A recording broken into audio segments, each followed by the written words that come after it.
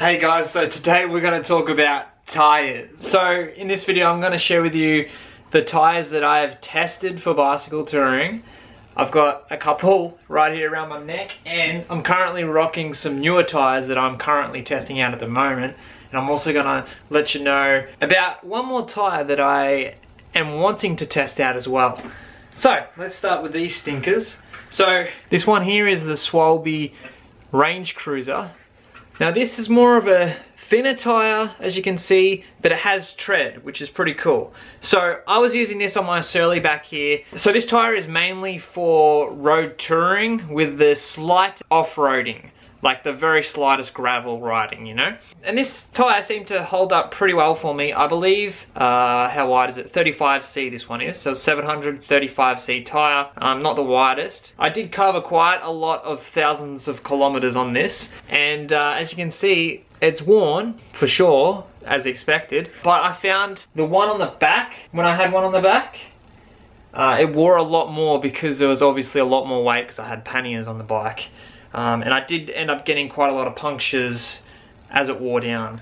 Um, and then I changed to this tyre. It wasn't really planned, but again, it's Schwalbe. I really like Schwalbe brand tyres. They're really cool.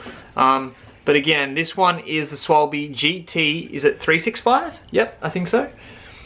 So this was kind of like a tyre that I just had to get because they didn't have any of the Schwalbe Range Cruisers at this bike shop when my rear tyre wore down. So I was using this one as a rear while I used the Schwalbe Range Cruiser as a front tyre. And as you can see, this one has a bit more tread, which is nice. And I kind of like this tyre. It was really good because I ended up doing quite a lot of forest riding, like out in the wilderness, on gravel roads and things like that. Just off the beaten path kind of stuff. And this tyre seemed to hold up pretty well. But I believe with this tyre I got the Nastiest puncture. Yes, I think that might be the hole right there. Anyway, I got this, like a barbed wire went straight through. It was about that long, went straight through the tire. There was no way it was gonna survive that. You know, like that's pretty good tire as well. And there's also one more tire that I wanna test out that I haven't got to doing yet, and that is the Schwalbe Marathon Plus. It's a much wider tire. I think they run as wide as 45C, which is the same width as these tires here behind me that I'm gonna show you. And they're more suited to touring, so they've got like, they're kind of like this tire, but just a lot fatter.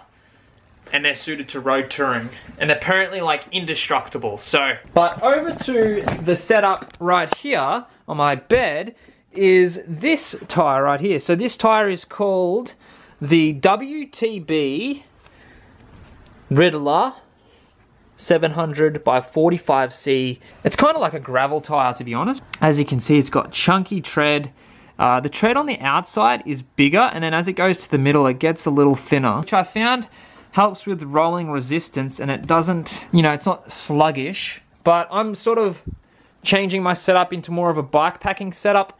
So these tires are great for that sort of riding. I probably wouldn't recommend it if you're just going to be touring on the road with these. You'd probably need something like a, you know, a Schwalbe Range Cruiser like this one here.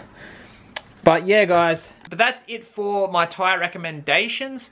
There'll be links down below if you want to check out any of the tyres that I've just mentioned in this video. Thank you for watching.